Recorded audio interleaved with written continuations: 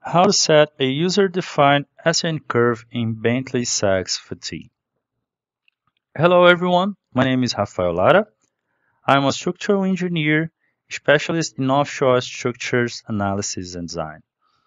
One of my duties in Bentley is to help our users succeed in their offshore structural projects when using either Bentley SACS or Open Wind Power Fixed Foundation. Folks, we got some questions from our users that were having issues when trying to define their own SN curves. Therefore, I decided to record this video and I'll show you how to set a user-defined SN curve in Bentley SACS fatigue and that you can use it later in your fatigue analysis, right?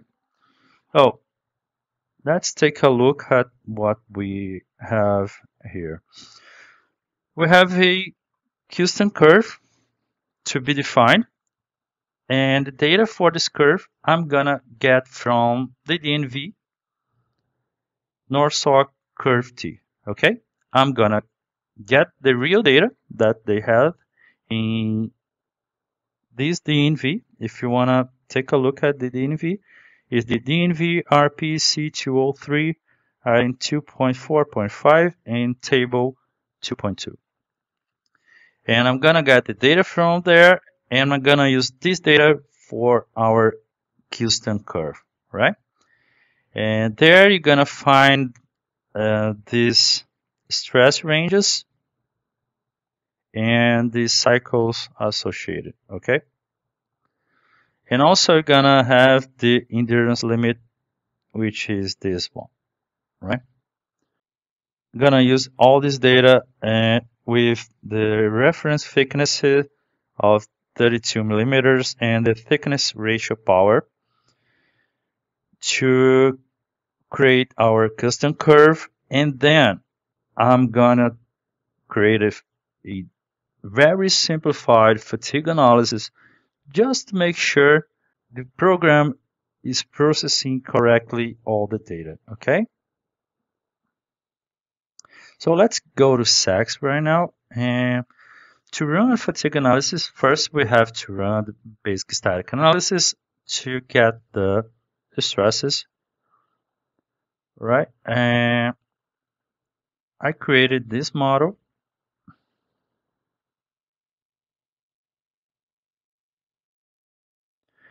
It's a very simple model. It's a tubular T joint, okay?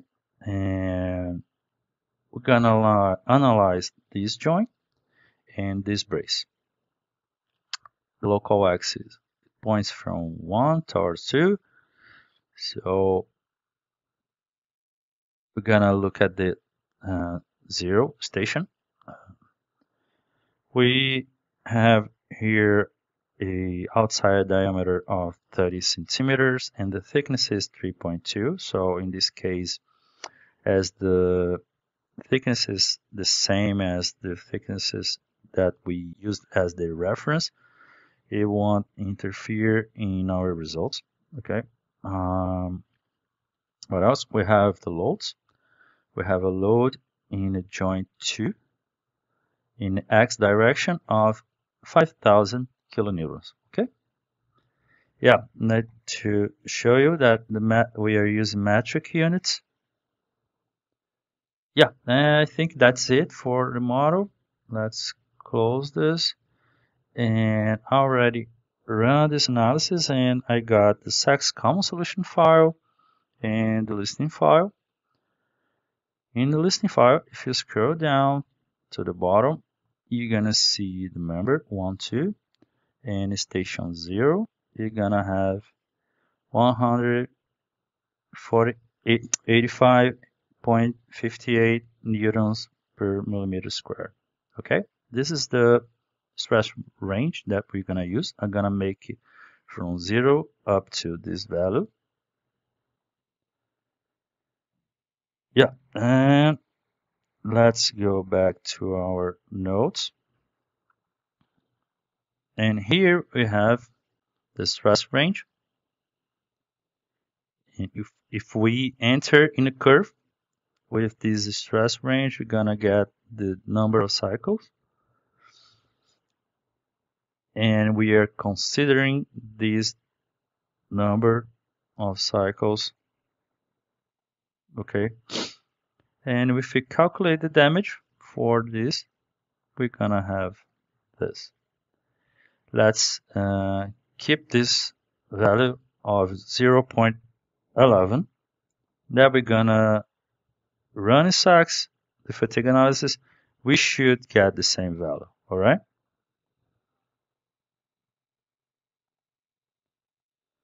So let's create now a fatigue analysis.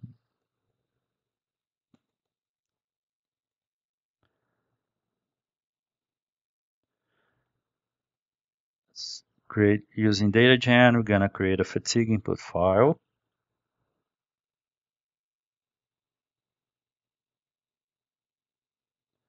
Go to post-processing tab, fatigue input file. And the first line we're gonna use is the fatigue options. As I'm doing something very simplified, I don't want to design life in safety factor or anything that impacting the result. I'm gonna use one. Also for the SCF, I'm uh, gonna prescribe then as one.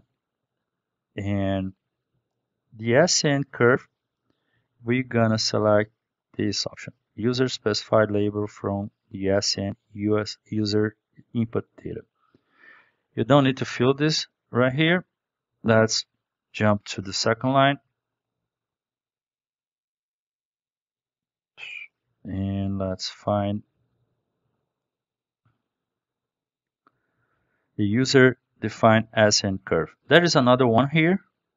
And this one is more complete you have more options here. I would recommend you use this one, right? And first thing we're gonna see that the units are not the same. It doesn't matter, but it's it's good to see what kind of units we are working on. So let's change it to metric units because uh, we are using metric units in the input file and the fatigue program is going to read these units from the SACS common solution file and it's going to work in these units. So it doesn't matter uh, what type of units you're selecting here. It, it will understand your inputting here is always kilonewtons per centimeter square. So just uh, be aware of that. Okay, and the first thing you're gonna change here is the SN ID curve. Let's use D and T. Okay, uh, endurance limit. Yeah, we do have one. Let's set to yes. And minimum thickness is 3.2 centimeters. Okay, uh, the thickness ratio power is 0.25. And here, you're gonna input the stress range. Okay, the numbers that I showed you in the beginning, they are in newtons per millimeter square. To change it to kilonewtons per centimeter square, we have to divide by 10. So let's input 38.742 and so on.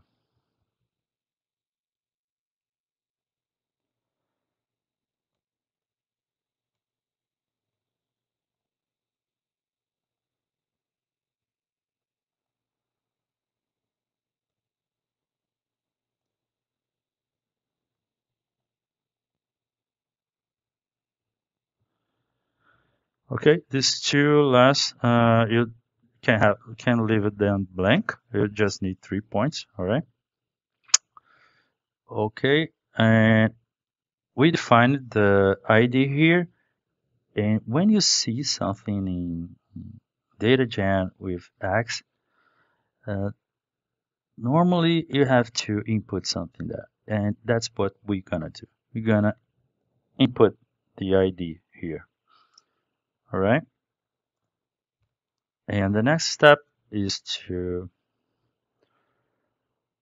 since we prescribed uh, maximum and minimum SCF, I have to define it. Let me use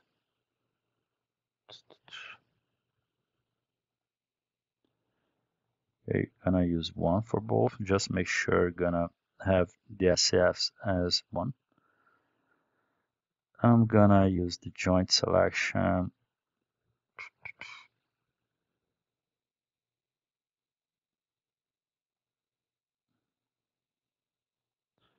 Select the joint one. Just make sure you're gonna have only the information for joint one. And the next one is the fatigue case.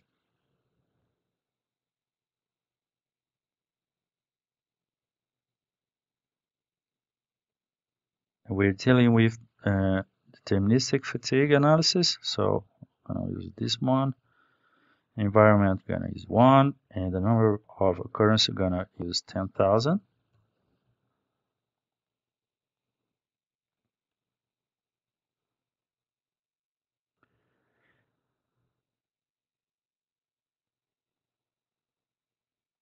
And now the fatigue case contribution. And I'm gonna delete. You don't need to do that, but uh, I, I, like to do. And the load case is one. Okay. Uh, this this comes from the common solution file, so you won't have the name exactly the name that you uh, used in SACS input file. If you use a name there, for instance, uh, fx, you won't have uh, the fx in your SACS common solution file. You're gonna have one. You're gonna have a, a number. Okay, so uh, pay attention to that. I'm going to hit apply, and that that's it. Let's put an end here, and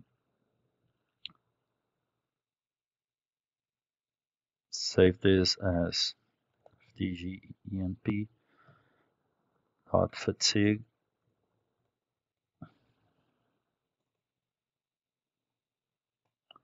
Okay.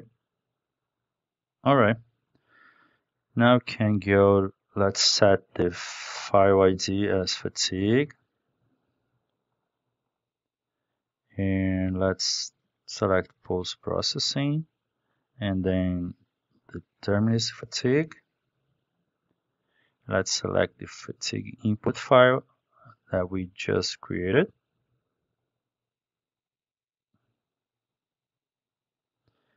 And let's get the SACS common solution file from the basic static analysis. Okay.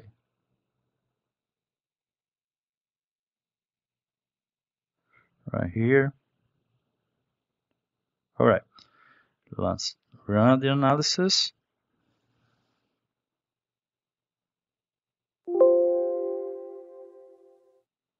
Alright, no errors. Let's open up the listing file, scroll down to the bottom, and there we go. Okay, 0. Point, it's almost 11, right? Uh, and the, joint 1, brace 1, 1, 2 and the SF, we prescribe as one, right? And also you can find it the, the curve right here, right? And that's all folks. Uh, hope you all enjoyed this video. And if you have any doubts, you can use the comment sections to make your questions and I'll be glad to answer.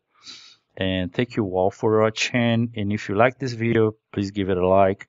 We also would appreciate your comments and suggestions. And don't forget subscribing to get more updates and contents like this. Right? See you all later. Bye bye.